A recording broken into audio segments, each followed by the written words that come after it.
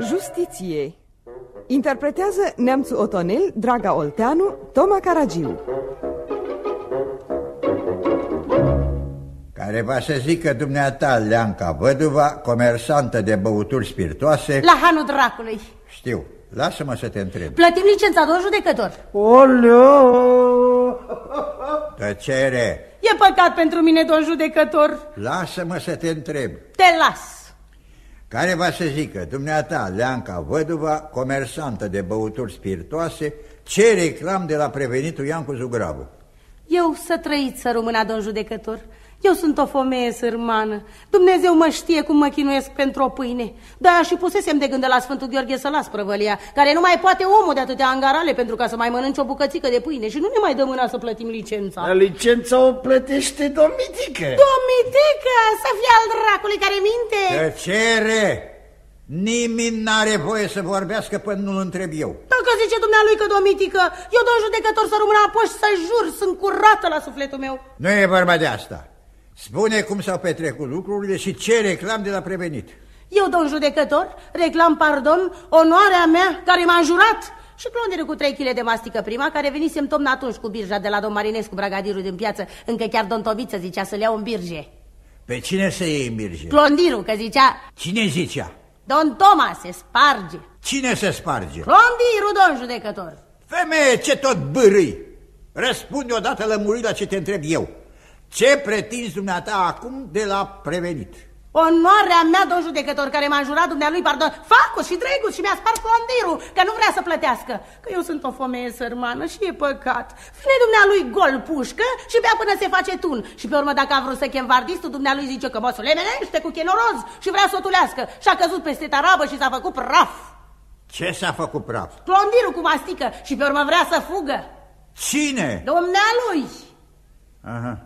Ei, ce pretinzi? onoarea mea și trei chile de mastică prima. Bine. Șezi și taci. Care vine dumnealui. Taci! Da, da, Taci odată! am tăcut.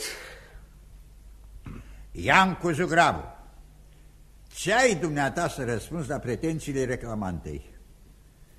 Eu, domnule judecător, ne zice, pardon, iar ai venit, mă, porcule, că ne știți, n-are niciodată o politică vis-a-vis -vis de mușterii.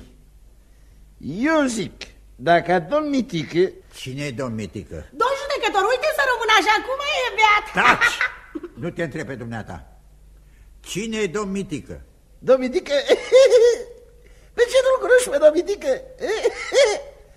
Al dragului domn Mitică, Vorbește serios. Cine e domn Mitică?